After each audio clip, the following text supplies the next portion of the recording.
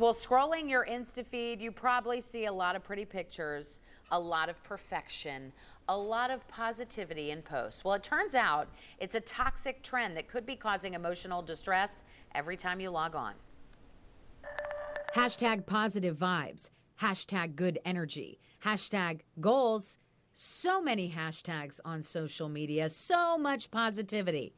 But wait a second, are these hashtag good vibes only making you feel worse?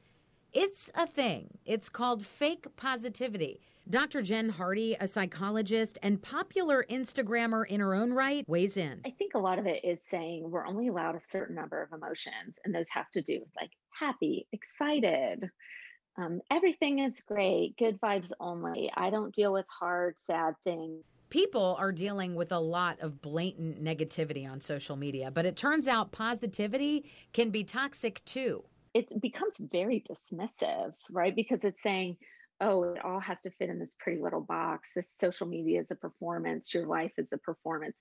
No, it is not. Your life is messy and complicated. A Pew Research study from 2020 found 49% of people say social media makes them feel depressed.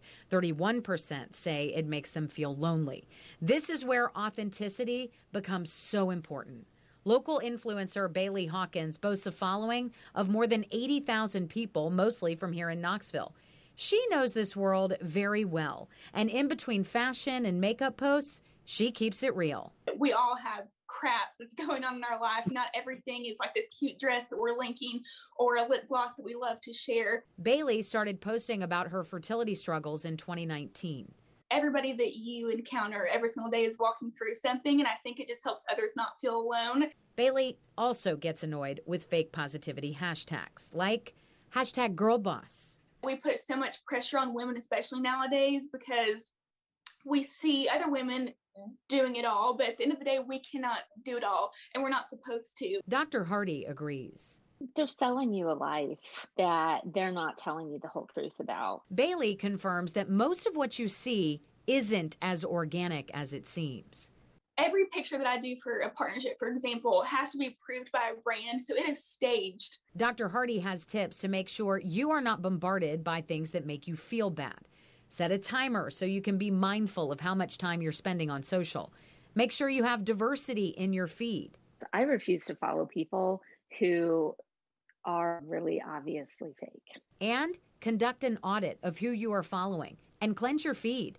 Bailey has seen a great reward for her realness. She says it's helped her cultivate a closer, more connected community of followers. When I started sharing more like real life stuff, I just really started to build true friendships with people that I've never met in real life.